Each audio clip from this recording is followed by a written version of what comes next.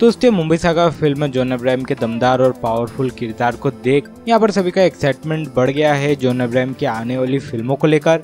जैसे कि यहाँ देखे भी तो यहाँ जॉन अब्राहम के बैक टू बैक दो फ़िल्में आ रही है।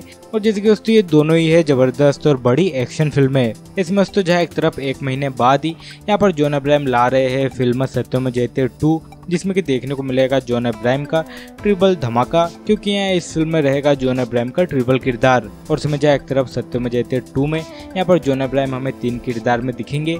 और जैसे कि यहाँ सत्यम जयते टू के कुछ महीनों बाद, यहाँ पर जॉन अब्राहम हमें एक बार फिर से एक्शन अवतार में दिखेंगे। फ़िल्म अटैक के साथ अस्तोसी की अटैक आ रही है तेरह अगस्त को। तो उसमें 2021 का शुरुआती धमाका तो यहाँ पर जॉन अब्राहम ने किया है फ़िल्म मुंबई सागा फ़िल्म के साथ। और जैसे कि यहाँ आगे भी जॉन अब्राहम की बैक टू बैक दो फ़िल्में देखने को मिलने वाली है। यानी कि उसके दो हज़ार में यहाँ पर जोन अब्राहम तीन बड़ी एक्शन फ़िल्में तो लेकर आ ही रहे और जैसे कि इसके साथ यहाँ जोन अब्राहम ने आगे की तैयारी भी कर रखी है। और उसमें दो की शुरुआत में भी यहाँ पर धमाका जोन अब्राहम का ही होगा। फ़िल्म एक विलन रिटर्न और पठान के साथ। तो उसमें यदि आप बेसब्री से इंतज़ार कर रहे हैं जोन अब्राहम की आने वाली फ़िल्मों का तो यहाँ पर आपके लिए गुड न्यूज़ यहाँ जोन अब्राहम भी तैयार है एक्शन का बड़ा विस्फोट करने के लिए।